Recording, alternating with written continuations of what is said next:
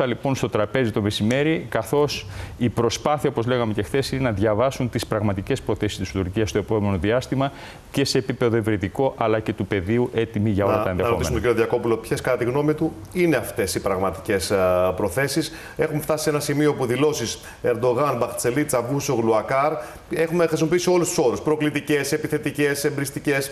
Ε, πλέον δεν έχουν, έχουν χάσει λέξη το νόημά τους. Στο πεδίο που θα προχωρήσει, πιστεύω, θα κάνει κάτι και συγκεκριμένο; άλλο παρά διπλωματική γλώσσα χρησιμοποιούν τουλάχιστον ούτε αυτό να τηρήσουν, άμα θέλουν να περάσουν ότι είναι μια χώρα έτοιμη ας πούμε, να μπει στην Ευρωπαϊκή Ένωση. Γι' αυτό και ήρθε και το ράπεσμα από την Κομισιόν.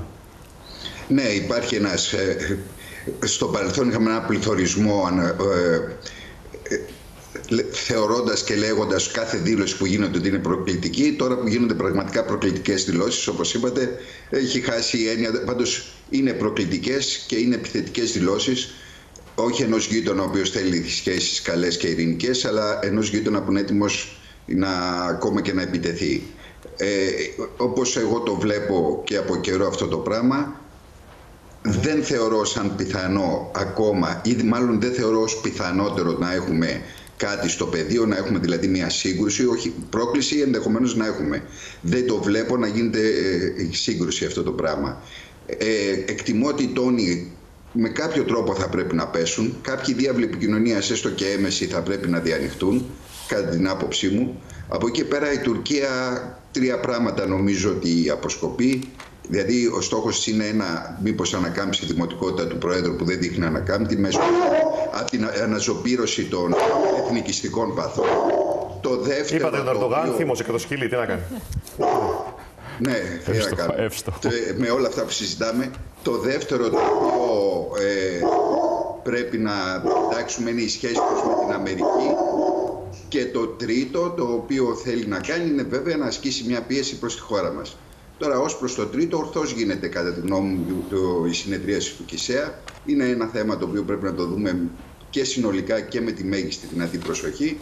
Αλλά ακόμα και τώρα δεν μπορώ να ξέρω τι συζητήθηκε μεταξύ του Συμβούλου Εθνικής Ασφαλείας του Σάλιβαν και του Καλίν, τι γίνεται στις σχέσεις τους με την Αμερική, διότι η Τουρκία χρησιμοποιεί τη χώρα μας εμέσως σαν ε, ναι. για να πιέσει την Αμερική και να κάνει έναν ιδιότυπο εκβιασμό προς τις Ηνωμένες Πολιτείες. Μιλώντας για τη σχέση... Ναι, παρακαλώ, συγγνώμη, ολοκληρώστε. Όχι, έτσι λοιπόν για να το κλείσω αυτό που σας έλεγα. Θεωρώ ότι είναι, μπαίνουμε σε μια επικίνδυνη περίοδο και ειδικά όσο πλησιάζουν οι εκλογές. Ε, εν τούτης, ακόμα και τώρα που μιλάμε, παρόλη αυτή τη ρητορική, την οποία πολύ σωστά είπαμε ότι είναι επιθετική και προκλητική, δεν θεωρώ πιθανό το περιβάλλον το διεθνές στο οποίο βρισκόμαστε με όλα αυτά που συμβαίνουν στην Ουκρανία να υπάρξει μια σύγκρουση ή ένα θερμό επεισόδιο μεταξύ Ελλάδα και Τουρκίας. Το εκβιαστικό χαρτί, συγγνώμη, Χριστίνα, ήθελα να μας το εξηγήσει λίγο ο κύριος Διακόπουλος. Τι εννοείται, δηλαδή πηγαίνουν οι Τούρκοι στους Αμερικάνους και τους λένε ε, δώστε μου π.χ. τα F-16 ή κάτι άλλο που θέλω ε, και εγώ σαν αντάλλαγμα θα σταματήσω να ε, απειλώ την ε, Ελλάδα. Ναι, δεν νομίζω ότι γίνεται με τον απλό τρόπο που το λέμε. Βέβαια, εσείς βέβαια προφανώ το απλοποιούμε για ναι. τους ε, τηλεθεατές. Ε, αυτό που γίνεται είναι και διότι μας κατηγορούν ως τέτοιος και διότι τους ενοχλεί πάρα, πάρα πολύ η Αλεξανδρούπολη, ειδικά και η παρουσία των Αμερικάνων στη χώρα μας. Αλλά κυρίως επειδή το έχουν πει πολλές φορές ότι η Ελλάδα δεν είναι αυτή που μας απειλεί η χώρα που έχει το μέγεθος και τη δύναμη για να απειλήσει εμάς, αλλά τη χρησιμοποιούν οι Αμερικάνοι και οι Δύσσοι για να μειώσουν την Τουρκία γιατί δεν θέλουν μια Τουρκία ανεξάρτητη, αυτόνομη, με στρατηγική αυτονομία κτλ. κτλ. Είναι αυτό το αφήγημα που έχουν φτιάξει και που λένε και στον εαυτό τους και προς τα έξω πολύ συχνά, αν δούμε τις δηλώσεις, ειδικά του Προέδρου Ερντοάν.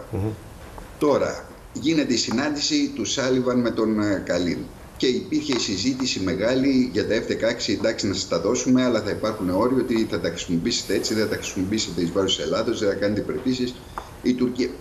Δεν μπορώ να αποκλείσω όλη αυτή η συζήτηση να απέκτησε και ένα περιεχόμενο ότι εντάξει θα πάρεις τα F-16, εντάξει συνέχισε την πίεση αλλά θα μένεις εντός ορίων διότι εγώ δεν έχω τη δυνατότητα αυτή τη στιγμή να έχω μια ανάφλεξη στην νοτιοανατολική μου πτέρυγα.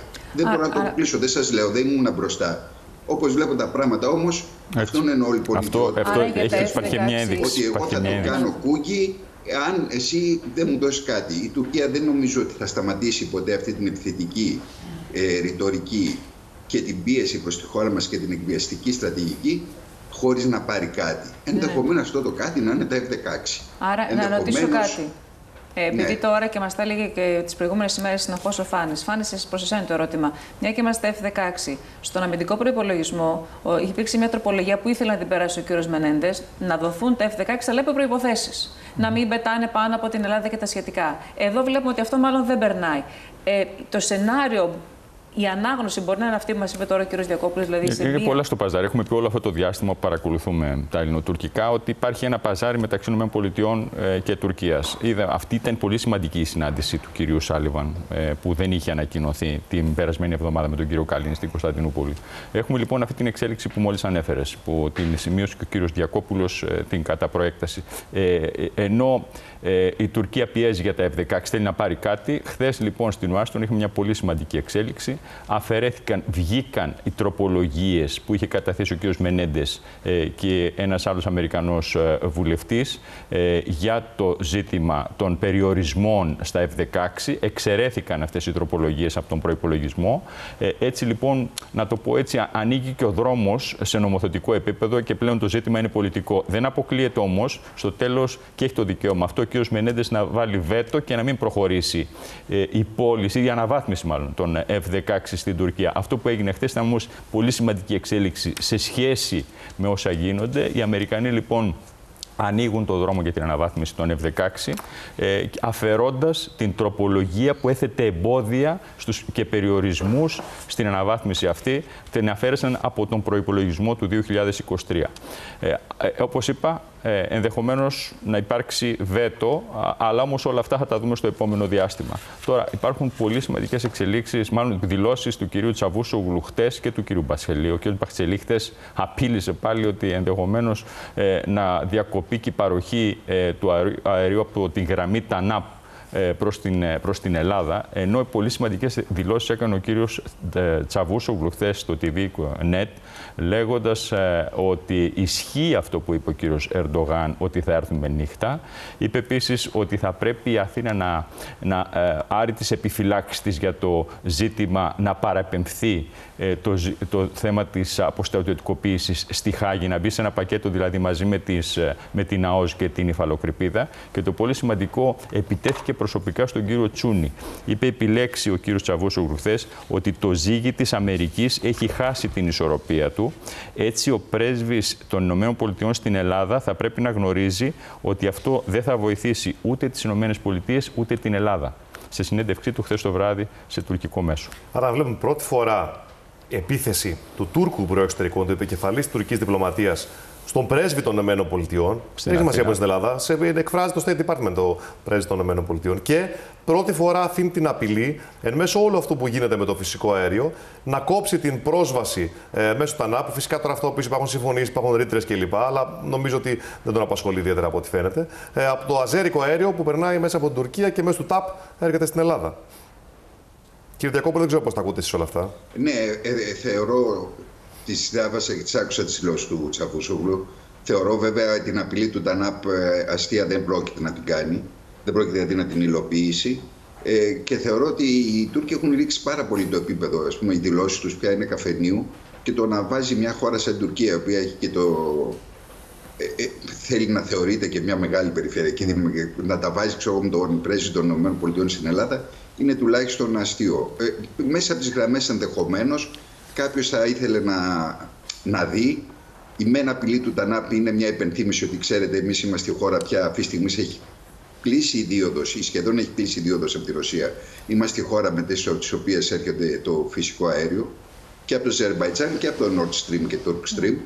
Και μέσα από τις συζητήσεις για τον, ε, την, αυτά που είπε για τον πρέσβη των ΗΠΑ, ακριβώς αυτό που λέγαμε πιο πριν, την ιδιότυπο αυτή η παζάρι Ήθελα... που θα γίνεται με τις ΗΠΑ. Και την, αν θα υπάρξει σε αυτές τις περιπτώσεις, αν υπάρχει απάντηση από το State Department, αφού έχουμε μια ευθεία έτσι βολή κατά του, του, του, πρέσβη, και να δούμε ποια θα είναι. Γιατί συνήθως θυμάσαι πώ σας απαντήσει και εσύ φάνη του State Department. Λέει, λέει, λέει, λέει, στο τέλος όμως, ότι έχει να κάνει με τη χώρα μας και την Τουρκία, βρείτε τα μεταξύ σας. Αυτή τη φορά δεν ξέρω αν θα Καλά, μαντεύεις πάνω να σε βάλω να μαντέψεις τώρα.